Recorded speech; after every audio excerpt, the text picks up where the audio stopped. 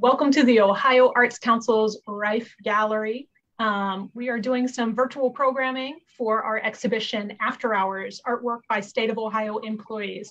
Today we get to hear from Michael Bush, one of our artists.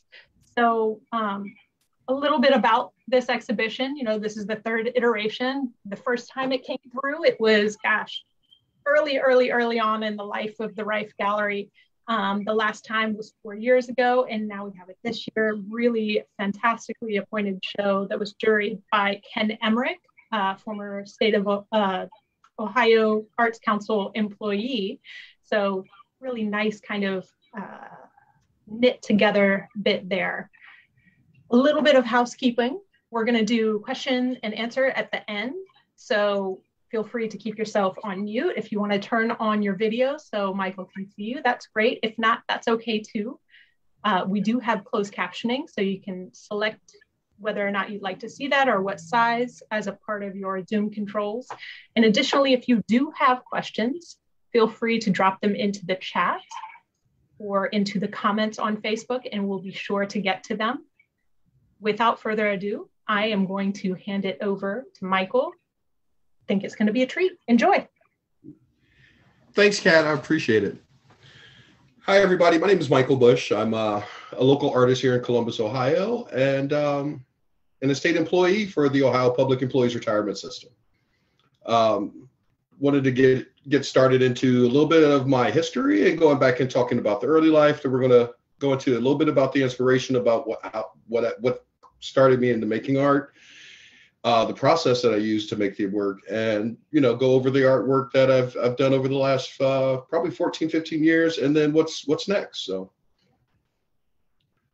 So I started out, I was born in Gary, Indiana. Uh, my mom was from Columbus and she was a graduate of Columbus East High School. And my dad was from Gary, Indiana. Uh, she moved there with him and I spent my summers here in Columbus uh, as a child. Um, but when in Gary, my mom and I would take a lot of, since we're so close to Chicago, we take a lot of uh, little small excursions to Chicago and do things like go to museums I go to galleries. Uh, so we spent a lot of time doing that. And uh, also with my paternal grandmother, we did that a lot uh, when I came to Columbus and, you know, in the summer times, I would do that with my grandmother. You know, we'd go to the fair, we'd go to the museums, go to COSI, things like that. So uh, those, those women always helped shape my love of art and, um, you know, kind of gave me a, a, a blueprint of how to kind of enjoy art from a from a child standpoint. Uh, but I moved to Columbus in 1992 and graduated from Columbus East High School in 1993. After that, I joined the Army and went in the Army Reserves for six years. And uh, while doing that, also played basketball at Columbus State and got my first job at uh, my first full-time job at Nationwide Financial, uh, working in the individual annuities area. From the time of 97 through 2007, when I worked there, worked in individual annuities, group pensions, um, and had a really good time working at Nationwide. Uh, in 2004, 2005ish area, I started doing uh, art therapy. Uh, going through some rough patches in life, uh, you know, sought out therapy, and the therapist at the time, you know, said, "What about art?" You know, Had a friend Brian Rome, who's an artist, who you know inspired me a little bit as well to get started in that that journey. So you know that was a good that was a good way to get my foot wet with learning a little bit about how to make art you know. In 2008 i started my first career or my first job with ohio or started my job with excuse me with ohio public employees retirement system. And it's first time being a state employee you know been very lucky to, to work there. Uh, at the same time of starting that job maybe a couple of months later i moved into my first art studio at junction view studios uh, you know rest in peace junction view uh, back in 2008 was there from there to 2011 when I moved to 400 West Rich. So, and I've been at 400 West Rich now for since then, so 10 years going on this year. You ready?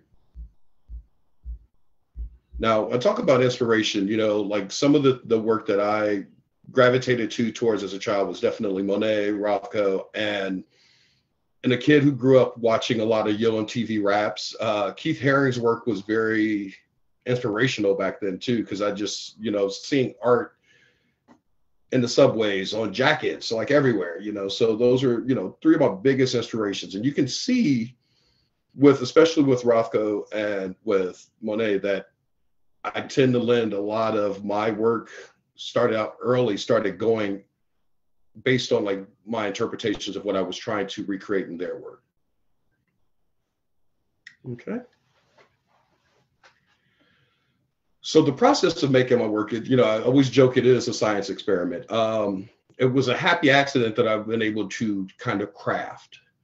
But you know, I use I, I'm really big on texture and color, color, and also fluidity in my work. I want to make sure that I'm trying to bring aspects of each of those into each piece that I make. Um, but what I'm starting to do is using like a watering down like of acrylic paint, and I usually use a heavy body studio paint to get that started. Uh, watering it down, and which can you know depend on how much and how uh, how thick I need the paint to be, and how fluid I want the actual paint to blend. Uh, I use then I use a, a just a general black spray paint and kind of use that to break up the paint as well as create these dark lines. And then I use an enamel spray to break that black paint up. So it kind of gives you a little bit of the, you know, what it does here in words. But um, the next slide, we're going to be able to show you a little bit of what I'm doing in now.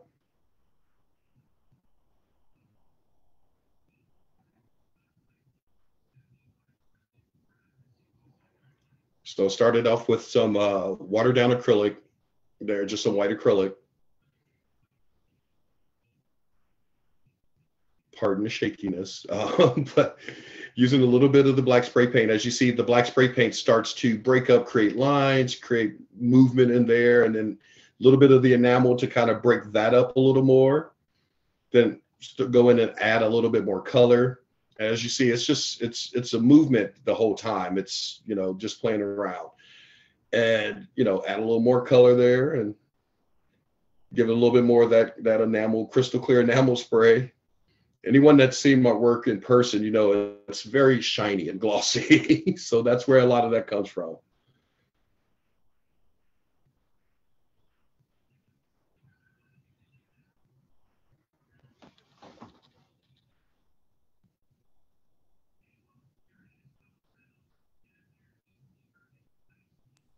That was totally my bad. Apologies, folks. I was trying to make sure that I um, was asking you while we were watching this really great video, uh. Michael, for you to tell us a little bit about like how how many layers do you do? Like how long does it take to to like do you have to wait for it to completely dry and then do you go back in? Tell tell me a little bit more.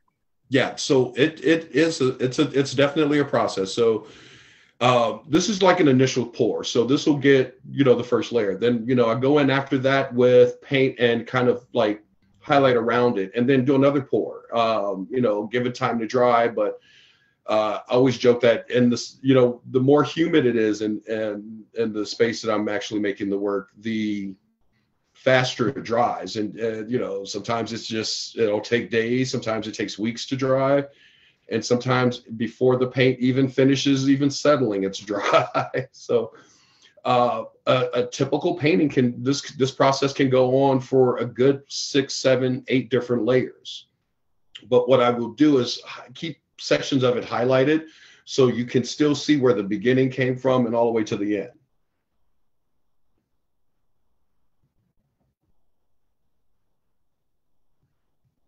But as you see here so once this dries um, you know, what I would do is where the white section is, I would go in and paint that a color and then do a pour over that because the, you know, the background actually does play a lot in how transparent and translucent the work gets. So,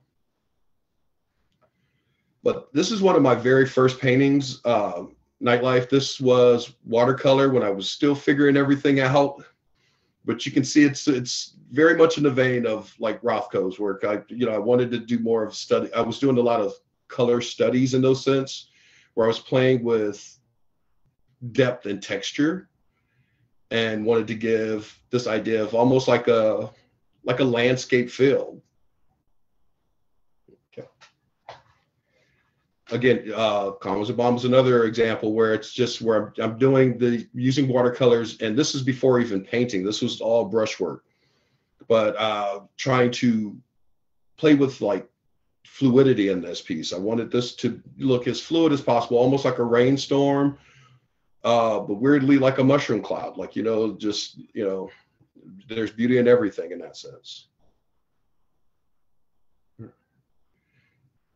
Again in this this concept of being such a, a fan of Rothko, I just wanted to play with a lot of negative space and still have defined defined sections to show a little bit of color. But that's this one is still in my permanent collection, my personal collection.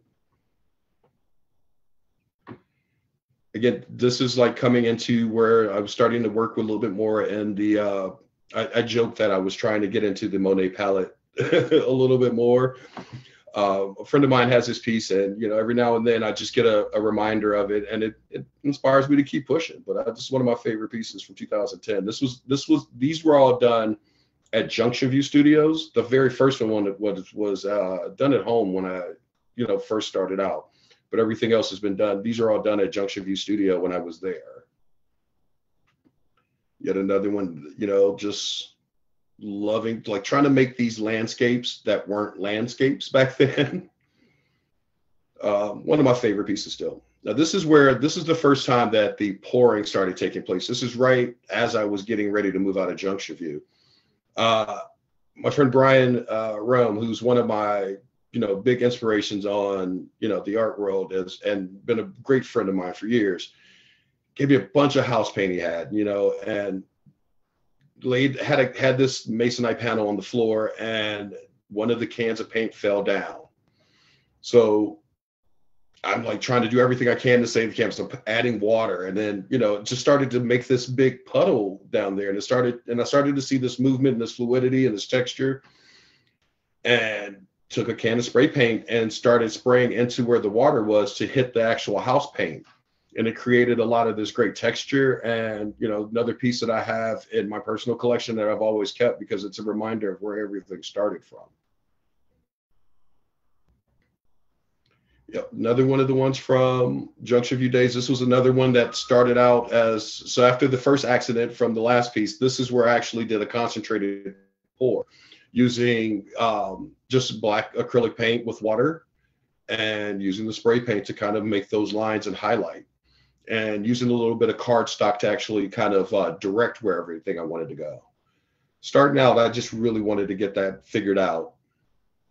Now, this is one of the first pieces created at, at um, excuse me, 400 West Rich. So this was another one where I started with the with the water, the acrylic, and the spray paint. And uh, and this was actually, you know, a really really good idea. Started, or excuse me, was the start of me trying to do these like animal shapes and and these anamorphic kind of figures. Now this one was uh, this was so this was me playing around again and trying to figure stuff out, but this was fountain pen ink. Uh, uh, the lame black fountain pen ink that you can just usually get where you know when you buy a pen. Started using that in a little bit of water and letting that dry, and then it used a little bit of black acrylic in there as well to kind of create this image where it almost gives you this skeletal feel where you almost look like you're looking at an x-ray. Uh, this was one of my favorite pieces that I did uh, early on in Junction View, and uh, it's now in the hands of a collector. It was in the uh, featured in the Studio Visit magazine in 2012 as well. But this is all just manipulation. This was this this piece. I think, if I'm not mistaken, took about 25 to 30 hours from start to finish to get to to get through. And really really was happy with the way this one turned out what did.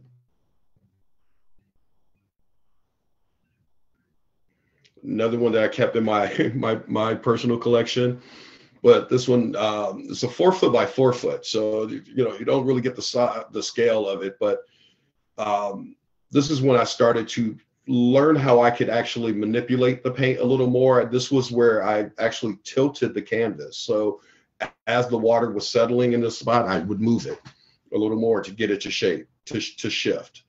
But this is still in the early early stages where it was all just one pour at first. Uh, as we get on, we're going to see where it gets like multiple pours. Like for for example, this one.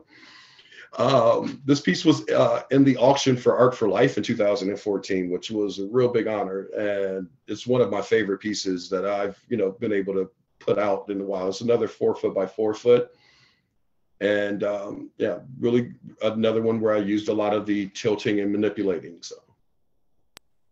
So what I'm noticing, Michael, is you started with landscape and you know are pouring yourself pun intended, into your inspirations.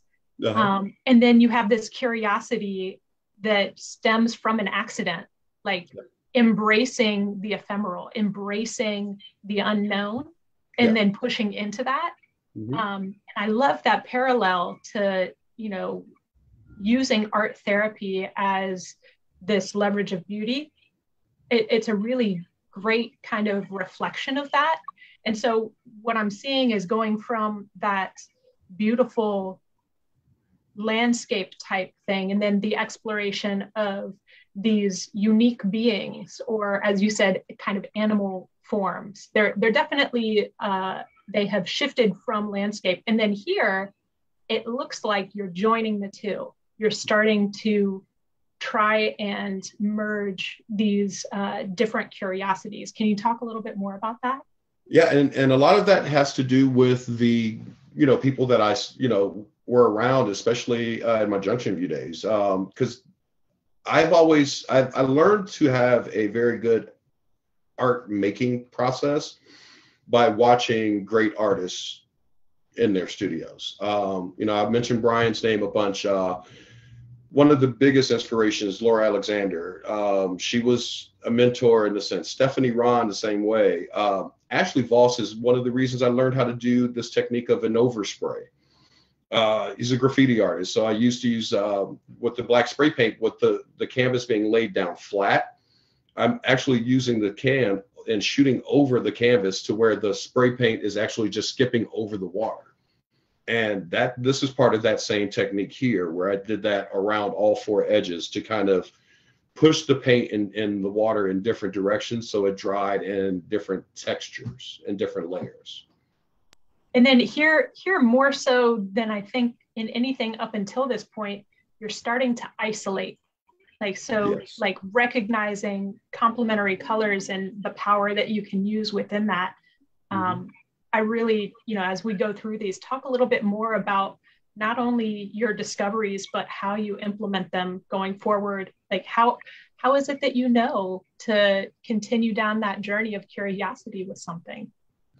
Yeah i feel like i've always been one of those people who would love to figure something out. Um, and if i can i don't want to i don't want to try to recreate someone else's will. I want to try to figure something out for myself. Um, and this piece here, the rose won't love you, the rose won't love you. This was created for um, a show at the Cultural Arts Center with uh, for Adam Brouillette and Megan Brouillette's wedding. And this piece now is in the permanent collection at the Schumacher Gallery, thanks to uh, David Gentilini. And this is another example where I was going back to that merger of trying to bring in this landscape field. This is one of my favorite pieces. This um, this piece also won third place in the Ohio State Fair Fine Arts uh, Professional Division in 2016. But the concept of this was uh, Adam and I shared the passion for a group um, and a song. It was the Long Vermont Road uh, by the Magnetic Fields, and you know we both enjoyed that song a lot, and we that was something that we bonded over when we first really kind of started um, talking about art and music and everything and this is kind of I pictured this piece being a a view out of a rainy window, like as you're going down a road and and the sun is setting. So I was trying to come back to that whole concept of where I loved at first with the landscapes and and bring it into a whole new kind of realm and use that use all of the techniques I had found at one time, you know, with the pouring and the watering down of the acrylic and the overspray of the spray paint and using the enamel to you know manipulate the spray paint you know where it where it lands all of that started to come into its this fruition of the same like process that I've been able to continue and and just push every time. you know, I don't I don't ever want to show the same work twice, you know, in that kind of situation. Uh, uh, this piece here, this is another, this was, I went back to doing a single pour. Um, this show was for a show I did at Gallery Denmark. This piece, excuse me, was for a show I did at Gallery, Den, uh, Gallery Denmark uh, in the short north, where it was, uh, you know, I wanted to do work based on the block theory, where you know, or or just like you know, see people seeing things in, in the sky, like you know, if somebody sees a cloud and they say, you know, it looks like, you know, I don't know, Charlie Chaplin, you know, as clouds do sometimes. Um, but this was one of my favorite pieces. This was in um, the 2016 uh, Art for Life and is in a private collection now and is basically two different types of red acrylic paint with spray paint and water uh, and a little bit of white acrylic. Uh, so the darker spots where, you know, where I merged the two reds and the lighter spots that you see towards the bottom there, that pinkish color is where I was adding the white and using the spray paint to kind of manipulate that and break all of that up. You have to be uh, willing to stop yourself uh, when you do something yeah. that has this kind of immediacy. Like there's the real, there's a real potential to to lose the beauty of this very quickly. How do you how do you learn to reel it in or not? It's you know it's still it's still a practice that i'm still trying to figure out. Um i honestly there have been times where i've just been like this is it. This is it. It's done. And i just know. And there have been times i'm like well it needs one more thing. And then it's a start over. You know it's all it's all in the, it's all in the practice of it all you know? Um and the more I work, the the more I find that I find myself even more, you know, because I, I consistently, you know, I'm trying to paint as much as possible, at least up to five to six times a week, if if not, you know, every day. Now, so this uh, one, this mm-hmm. one is interesting because the title certainly is reflective of the image. Like, there's no, there's no bones about it, right? So yeah. I'm curious, uh, does the title come first? Or does the piece come first? So this one, so this one's a little bit. Um, this is this one means a lot to me. Um, it's actually right behind me right now. You can't see it because of the glare, but um, this piece was created in memory of my mom. Um, she had died in 2016 uh, after you know having an accident and a long fight of trying to get through and recovery, but she passed away in September of 16. And I had a show coming up and 17 again at, at Gallery Denmark, and I wanted to I wanted to make a piece that kind of spoke to my relationship with her. She was, you know, not only my big inspiration, my my first instructor about learning how to view art and and love it. She was a creative herself. She, you know, she made uh, flower arrangements and you know she painted t-shirts she was a painter when she lived in germany after college you know she was you know doing landscapes then so she's always been a big inspiration for me as far as my work is concerned. And I wanted to to make a piece about her. And I've always told people that she was my heart. Like, you know, like the reason I got up and wanted to do something good in the world was because of her. I learned, you know, my volunteerism from her. I learned my politeness, everything, you know, like I learned how to laugh because of her, you know, and enjoy myself and, and not take myself too seriously. Um, and this piece, you know, the title "It Beats for You" is a uh, Jim James song or My Morning Jacket song, but it, it kind of spoke to my feelings about my mom, you know, and that every day that I woke up, my my heart was beating because of her and for her, and you know, I wanted to make it. I wanted to kind of come out and make this heart and make this piece kind of give this um, this whole detailed heart kind of look in an abstract form. So this one, this one is always going to be something that I cherish and and probably one of my favorite pieces of all time.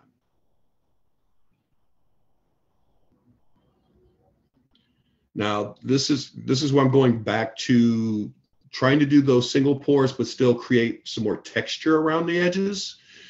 Uh, I use the the overspray as you can see at the top in the left hand side and really the top of this. It's that that's a lot of the heavy black overspray, and you know what I would do is then shoot the shoot the black paint over very hard and then use the acrylic or excuse me use the enamel to break that up and it would actually dissipate so That's where you get to see those shadows at that top of the, the line.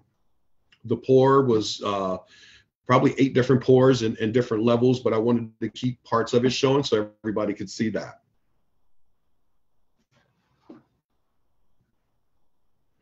Now, this is a piece from the show there at the Riffe right now. This was uh this piece was in the 2018 Ohio State Fair Fine Arts Division as well. Um, this is where I wanted to kind of make a larger piece that kind of showed a little bit more as far as like me trying to push the I, the, the concept of texture. Um, Dana Lynn Harper was a great friend of mine and an amazing artist and, and uh, art installation uh, person. I forgot, lost my words here. Said it kind of looks like an aerial map, and you'll see like later on down. I'm going to get into a little bit more of that, but it was something that she pushed me back in 2018 to kind of do a little bit more. And uh, March 13th of 2020, we were actually putting on a show together with myself, Dana, and Jay Moffitt, where I did some more some work we're going to see coming on down the line. But um, this piece inspired a lot of the work coming up here soon uh, in the next few slides too.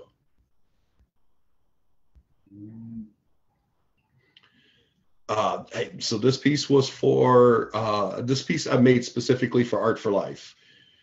This was um, the Under the Rainbow is, is just you know indicative of like me being a, a gay black male and and still trying to figure out like my coming out story, you know, as as a young kid and I wanted to do something that kind of gave that rainbow feel without just throwing a rainbow on a on a piece of canvas. And um, and this is where again I, I'm going back into trying to push that fluidity between the color mixtures, as well as bring that texture in the back. Michael, you talk a lot about uh, art for life, and then you mm-hmm. mentioned softly when talking about that wonderful work for your mother, how she instilled the importance of volunteerism. Um, I wonder, as we go through a couple more pieces, if you could talk a little bit more about one, why you select to uh, give your time and uh, heart to Art for Life um, and any other organizations. what folks that know you know is that you go in for community and make it better at all turns. So I want to make sure that those that aren't quite familiar with you get to know that too. Gotcha. No, yeah, definitely. Good. Um, Art for Life's a, a very big, um, it's, it's an amazing event. Uh, it, it, it, benefits Equitas Health, uh, who started off for uh, any young any young gay people in that were in Columbus in the late 90s, early 2000s knows Columbus AIDS Task Force, and then they were ARC Ohio, and now they're Equitas Health. But their mission is to help uh, LGBTQ plus community find medical treatment, you know, testing for HIV, finding prescriptions, things like that. They and they help not only just the, the they they basically want to encompass the entire community, the the whole plus community together and they want to make sure that everyone has access to good health care. And Art for Life is an amazing event that uh, is now in year 30, if I'm not mistaken. Um, and I'm actually on the committee for it this year, the Arts Committee. So I'll be part of the jury process for uh, the work in the show this year. And it'll be at the Columbus Museum on the 23rd of October. Congrats. Uh, That's a huge honor. Yes, it you know I've had some I've I've been lucky to have some great honors and this was the one that I like you know hold in the highest esteem uh, because it is a great organization and their their work benefits you know a community that I'm a part of and I'm so passionate about. Oh. Now this piece here was from uh, my first solo show with Haley Gallery in New Albany. Um, Haley approached me in 2016. We had a great we have a great working relationship, and she represents you know she she has my work on display there in her in her amazing store and her amazing gallery in New Albany, and um, lucky to have that that opportunity and and that connection as well because Haley is an amazing gallery owner. So. So this one this one is not a single pour. This one is definitely not. So this one, the so a lot of people, you know, they see that blue in the background and think that's where I started with. Uh, the pour came first. So uh, what that blue is, that that blue is actually the second to last layer. That you're seeing in the background. And then there's a layer right after that where it's the the break up like the broken up gold there. So I, you know, this is where I go in and I I, I refer to it as carving out like what I want to see in the imagery. So, you know, when I when we, you know, back to that process video, you saw like where it was landing. Once that dries, if there are parts of it that I don't really want to show or, or showcase, I will use like a different color paint to kind of like cover that up a little bit and then go in and do another layer. And, you know, and those pro- that process again could take days, months, or hours, just depending on where I land with that pour. You're doing another thing in this work that I noticed as I was looking at the slides. Um, once you get to kind of this place, I mm-hmm. recognize that you are um, having foreground and background argue with each other. Like mm-hmm. you're forcing a viewer to try and figure out what is coming forward because both that really vibrant teal and your chromatic reds and yellows and greens they're they're competing yeah. and for a moment you can kind of shift your eyes and concentrate on that mass of yellow and red and green and believe the blue to be in the background and then if you concentrate right. on that blue you can do the same right so there's uh, there's some optical illusion that you start getting into can you talk a little bit about how you're getting into these really exciting uh, conflicting complements. How, how'd you get there?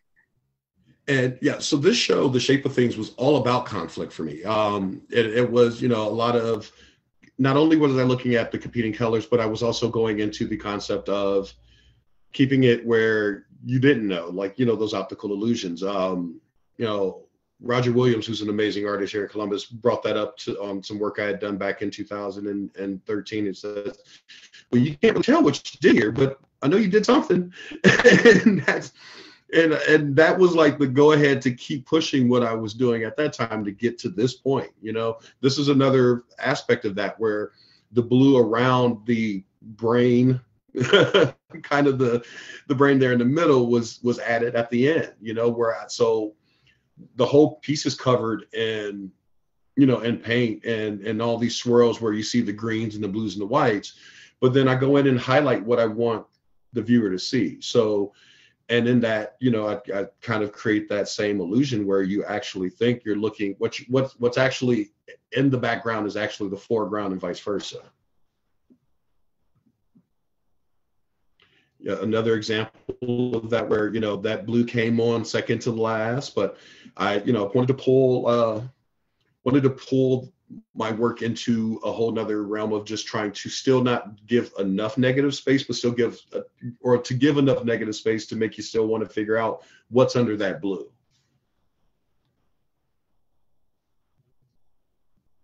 Now this is where i got into a little bit back into that that single pour stage but this was for a show I did at the Schumacher Gallery in 2019. Uh, it was part of, uh, I've been working on the show. The last slide and this one were part of a, a concept of doing work as in abstract on the seasons, where cerebral was in spring, this is winter. Um, so, yeah, one more back. Yeah, that one there. So this would have been spring and uh, yet another spring, and then this goes into winter. So uh, summer and, and, fall are coming up next. So uh, this again, another one also in that same vein for the winter. So this these were all single pours and then a little bit of highlighting and going back in and playing, you know, playing with the white to kind of cover up any imperfections that I did not want the viewer to see. Now this is fall and uh, this is where I'm getting into this this concept of these the golden rich golds with the blues, and you know trying to get this concept of bringing on this horizon line. Uh, part of the show that I uh, that I have with Dana and Jay was we, we were basically trying to push the the concept of horizon lines and and doorways and the concept of what's what are you actually viewing? And and this is kind of the first in that that series of work that I was really happy with immediately. Again, this was from that show, um, the Upper Regions of Air, uh, back in 2020. That uh, didn't get to didn't get its due, but you know, due to COVID, we understood why, and you know, we are we we're here we're here now because of the due diligence then. Uh, but again, playing with that that horizon line, uh, convergence. This uh, piece I created last year, and uh, this was going into Art for Life this year, but I started a new piece for that. Uh, but this is again where I where Under the Rainbow was, where I wanted to give those same prideish colors without looking, you know, like without it looking like a rainbow, but still come in with that horizon line and bring that that that same next level depth and that you know bring that next level of um, transformativeness in that in that sense. So this is uh, from the seasons as well. This is summer. Uh, this is one of the pieces about summer, and this is again just you know kind of going back into that landscape feel where I just wanted to show a little bit of that horizon line, but break it up a little bit and not make it so rigid, but also give this viewer this this kind of view and and you know even though it might look like a landscape, you get lost in a little bit of every corner of it.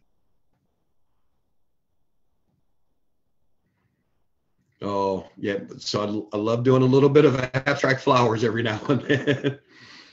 Uh, this right now is at Strongwater uh, Food and, and Spirits and, and in Franklinton, and uh, which is up uh, I think through the end of this month here. Um, just thought about that. I forgot a lot about that. But this is a, a, a piece that I, I really enjoyed doing. Um, I like again making figures and you can almost make it out to where it's like some alien where you see a blue eye and a beak but is it a, is, is it a vase of flowers who knows i want to leave that up to the interpretation of the viewer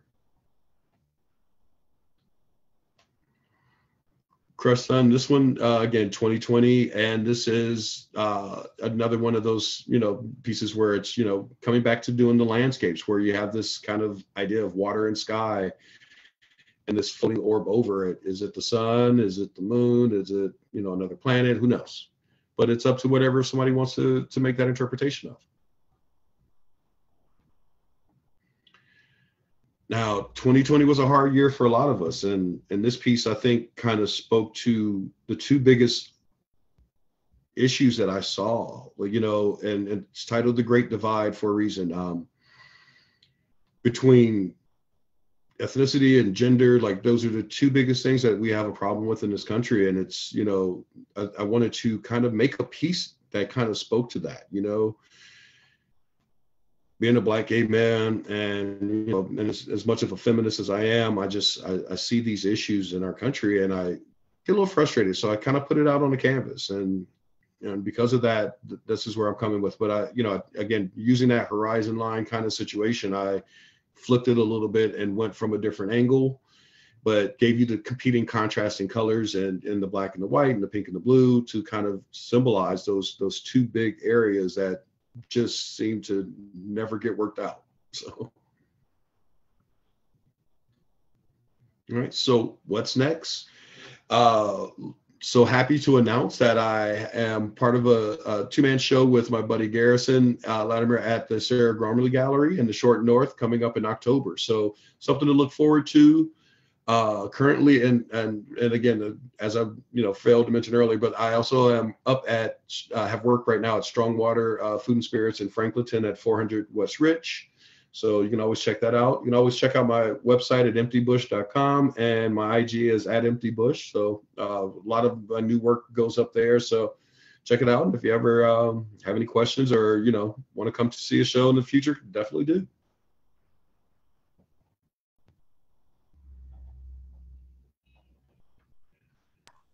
Great. Okay, Michael, that was fantastic. We're on to our Q&A.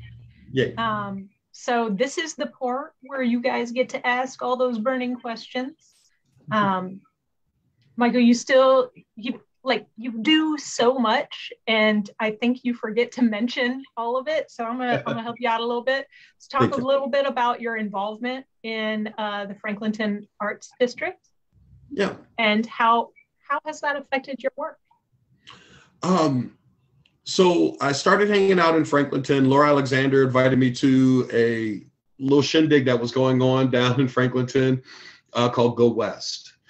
and you know went down hung out you know met a lot of friends that are still friends today from that night and you know started hanging out down in franklinton more uh, chris sherman's a big influence of that he's one of my best friends and you know he's part of the reason why franklinton is what it is but uh, 2013 i joined the board of directors for the franklinton arts district um, you know and up until that point had volunteered at uh, the franklinton art district number one event, which was Urban Scrawl.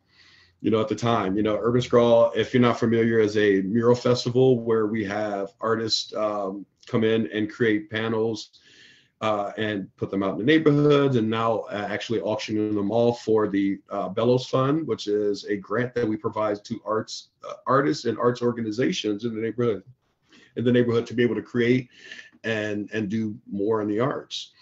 Um, you know, so this is I'm on my second run on the board uh, for Franklinton Arts District, and we're putting on Urban Scrawl 15 at the last weekend of August.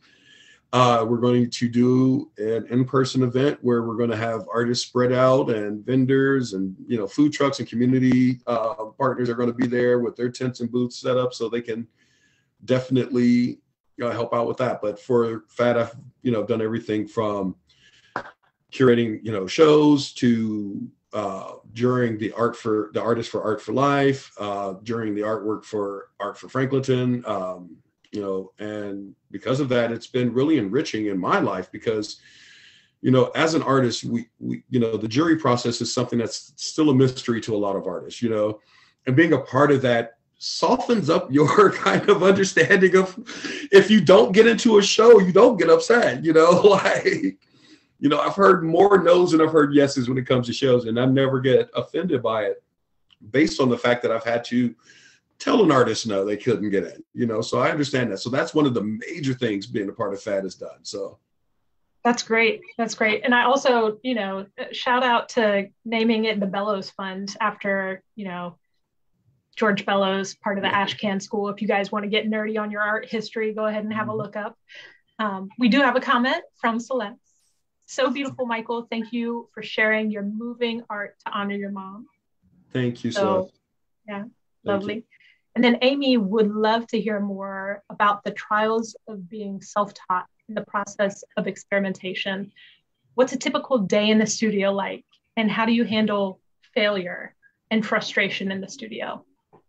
So for me, like again, like it all started with art therapy. So it, to me, it's never a sense of I had to hit it out of the park every time. I, I like to make mistakes or mess something up so I can figure out how to do it better later on.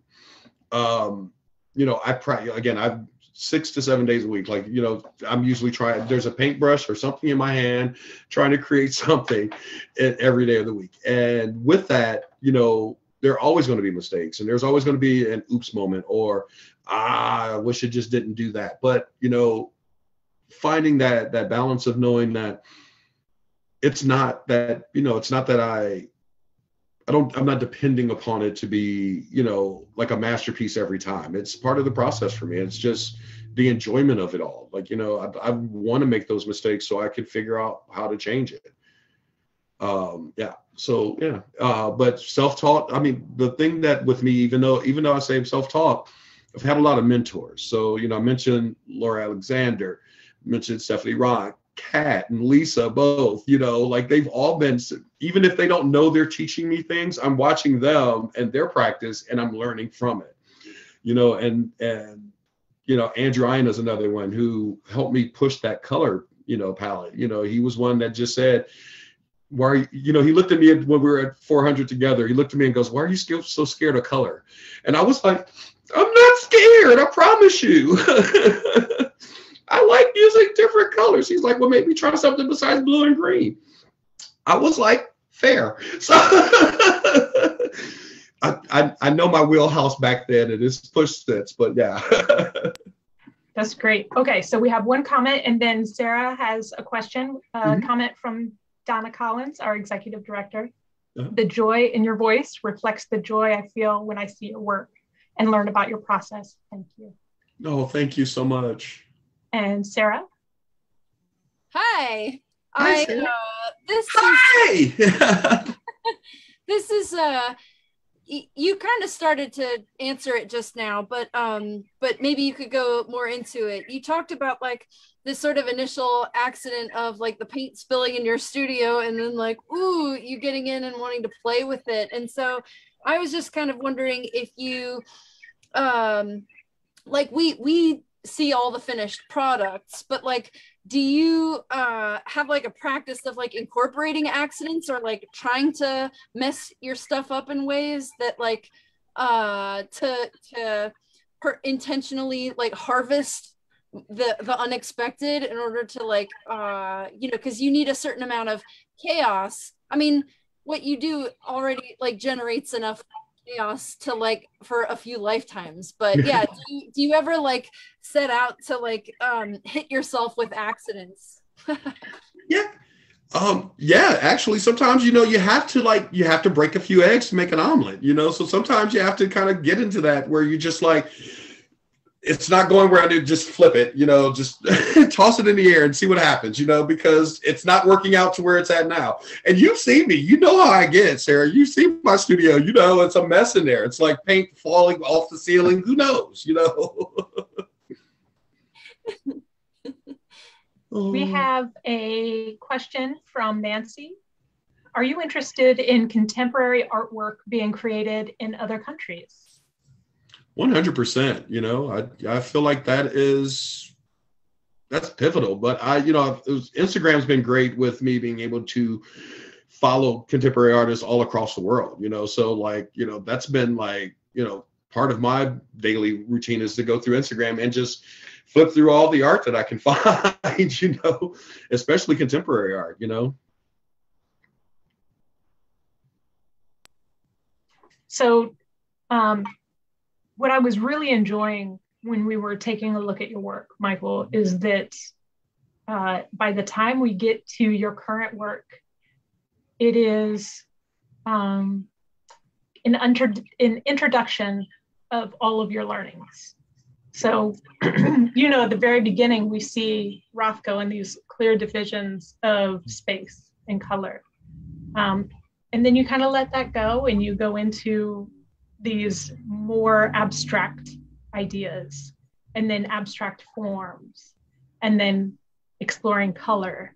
And then you pull Rothko back in and you start pulling that that line across.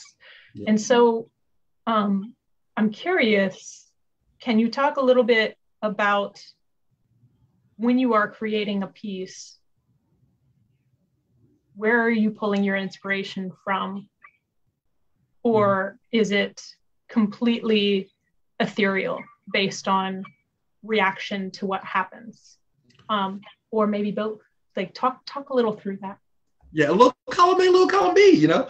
Um because it's you know for me like I, I, I talk about how much i work but the reason why i do it is because you know i work in, a, in an environment where i use one side of my brain all day. It's you know financials. It's learning you know how to how to and any of my state employee friends out there will understand how to figure out Ohio revised code or you know any of that you know and kind of understand that. So so when I go to paint, this is my relaxing time. This is my chance for me to just unwind for the day and music plays a lot of part of that because i you know i listen to music while i paint and i kind of just unwind i, I actually try to forget any stressful aspects of the day and try to focus in on the music and focus in on the process of the painting. So I think a lot of this for me is where I can think about what I want to see, but I don't let that thought drive the actual process. I, you know, I let the actual process drive itself, you know, so I'm almost, i I'm almost more of a secondhand person in the process while the materials are doing all the work. You know, I'm just there more like to chaperone. Like. So then, if I'm hearing you correctly, does that mean that the title comes second? Because you didn't answer that question yet. Uh huh. It does. A lot of times it does because I, you know, I'm definitely, um, you know, thinking about the work as it happens. But then, you know, once I finish it, it could be just that the title came from the song I was listening to as I was working on it, you know, at a, at a pivotal point, you know, and, you know, comes from that. But a lot of it you know, I always joke that, you know, if, if, it, if it wasn't for Fiona Apple, I would never be able to title a painting because uh, a lot of my work is inspired, you know, a lot of the titles are inspired by songs from her. She's one of my favorite artists to listen to, her, Erykah Badu, you know, they're, they're very relaxing, very calming voices that help me get into making the work. That's great. We have a comment from Barb Vogel. Oh, uh, Barb. Barb says, love your controlled accidents. Yes, you, Laura, Dana, and Stephanie are all so wonderful. I love your horizon lines and of, car- of course, your heart. Oh, Barb's Barb is an amazing artist. If you guys don't know Barb's work, you need to go check it out because she is absolutely fantastic. Agree. And, someone, and you know, and someone who I've been able to just sit down and pick her brain about art. You know, she's always been very helpful and you know, a big mentor to me as well a gem, a gem in the city for sure. Yes, yes, yes. Uh, question from Amy. I'm wondering what mediums you haven't explored yet and are interested in. What's the next experiments? Um, so a few years back, Duff Lindsay and I were having a conversation, and he he challenged me to enamels, like as far as enamel paint. And I've, you know, I toyed around a little bit, a little bit of this, a little bit of that, and I was like, I'm going to give it a full run one day and try to figure that out, like and see if I can do with enamels what I can do with acrylics. Um, you know, and you know, Duff's you know been a great person to talk to and learn from as well because you know, learning the gallery side and learning how that works is something he's been you know always willing to help me you know help me by answering questions and things like that so he's been a great uh, influence in my my career as well but enamels um, are it. Enamels are it. They're next. exciting. It's exciting. I can't wait to see it. Yeah. Um, Celeste, did you have a question? I saw you waving. Yes, go for it. Thank you so much. Hi, Michael. Hi, Celeste. Hi. Um, thank you for this incredible presentation. Your work is just so moving. And I was really, I love the aspect of um, of the randomness that you welcome you don't just allow but you welcome it into your work and i really mm-hmm. relate to that working with fiber but i wondered if this is a strange question but i'm so curious so i have to ask i wondered if have you worked with water from different sources to see if that you know like you, you your work is so spiritual and like I don't know, and it feels like the the materials themselves could, like you just said, influence your work. So, I, and I mm-hmm. just wondered about the sourcing, like water. It's something that, you know, comes from all these different sources. Yeah, so I've done, I've used, you know, of course, tap water, but I've also used a lot of filtered water in the past, and you can tell a difference a lot of times in the way the paint mixes. Uh, filtered water usually keeps pigment better, you know, a little bit more. So if it's something like when I did uh, Heavy as the Head, where the, the red and white piece that was in Art for Life in 2016, that was all filtered water and that kept the pigment so red that it just stayed, it just lit up the canvas. So, but tap water, I mean, it's it's good for its thing. So, I think Celeste is about to take you on a trip around the state to get oh, some, some water from Crete. I think that's what's about to happen we're going to do some well trips and grab some uh, mason jars and just hit the road, Celeste. Let me know. label. I'll, I'll let you borrow my labeler. Yeah. um, we have a question from Jennifer Winton, one of our other exhibiting artists who just did an artist talk. Jennifer says, I loved hearing about your process and how you trust that process again and again. Practical question Do you wear protective gear? Gloves, maybe? as you work with the spray? Um, so my good friend Jay Moffitt, uh, who's been a somebody I went to high school with, you know, he's, he's an amazing artist. Um, he's been yelling at me for years to get a spray mask, and I finally got one. So, um, but yeah, that's about the one thing I do. Um, my space was always well ventilated. I had a giant fan pulling everything out so it wouldn't stay and linger. But working with spray enamel and and spray paint, you know, sometimes you have to come and take a Q-tip and make sure you don't have black stuff in your nose because you've just been huffing that the whole time. So, you know, I know that's TMI for most, but the, you know, that was one of those situations like you have to kind of protect yourself in that situation now. Disclaimer anyone that is choosing to work with spray paint or toxic materials, you should always wear gloves and face masks to be sure that you are as safe as possible because those things can have lasting impact on your body. Those chemicals that enter your body um, will not exit. Right. The more you know. The more you know. Yes. I think that uh, this has been a really phenomenally joyful conversation. I, I want to kind of cap us off on leaning back into the fact that this is an exhibition about being, you know, an artist and a state employee. You talked a little bit about um, kind of the rigidity of, of your role and that there's not room for mistakes. There's it's very precise, it's very analytical, and it's super important that you get it right. You know, it's like mm-hmm. folks' retirements in your hands. Yeah. Um, so I'm glad that you you have that recognition, and um, I would love for you to talk about the balance that I you told me a little bit about this already, so I kind of stole your thunder. I'm sorry. Um, that art gives you, um, and if you take one away, either side, how do you feel that would affect you?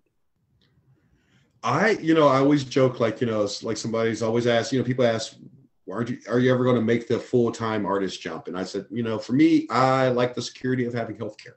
Um, you know, like not like I couldn't do it, but it's it's hard for me. Like like OPERS provides me the opportunity to be able to go into and afford a studio, afford materials to be able to create work. And the work the the painting allows me to be able to go back to work with a fresh mind every day. So there's this ebb and flow where they both play into each other. You know, it, like you said, it is it's a hard job, and it and it's something that you know I always have to wake up in the morning and think. I have to make sure I'm making the best decisions that I can to make sure that you know people are getting making sure that they get their retirement done, you know, and things like that. So, OPERS has always been something has been a blessing to me because the fact that they are very generous with their time and they allow me to work from home now, you know, things like that. So like, you know, my, my dogs love that. Uh, and also like, you know, 15 minute go in and run into the garage studio, make a start painting and then come back into work, you know, if I have to kind of situation. But yeah, they both play a part in who I am as a person, you know, in, in full. Um, you know, I love being able to help others, uh, especially with something that they're not familiar with or didn't understand, you know, and I like to, you know, with the reps that we have that, you know, take calls, my job is to help them find the answer sometimes. And that's something I really enjoy. I really enjoy showing people what I already know. Like, you know, if something, if I know something, I want to share it, you know, um, but the art allows me to be able to come back and, and every day and come in with a fresh mind and a gratitude for what I'm doing. So, yeah. I love that you see that in both uh, kind of areas of your life like you're you're a helper in all areas. That that spans across. And that's just so lovely right? Thank you. Um, is there anything else that you want to share with us? I, you know, this is being my very first artist talk, you know, I told I told you earlier, you know, I was real nervous about this, but this has been a great experience, and I want to thank you and Amy for everything. And you know, just so excited that this show is still going on. This is my second time being in the show, so it was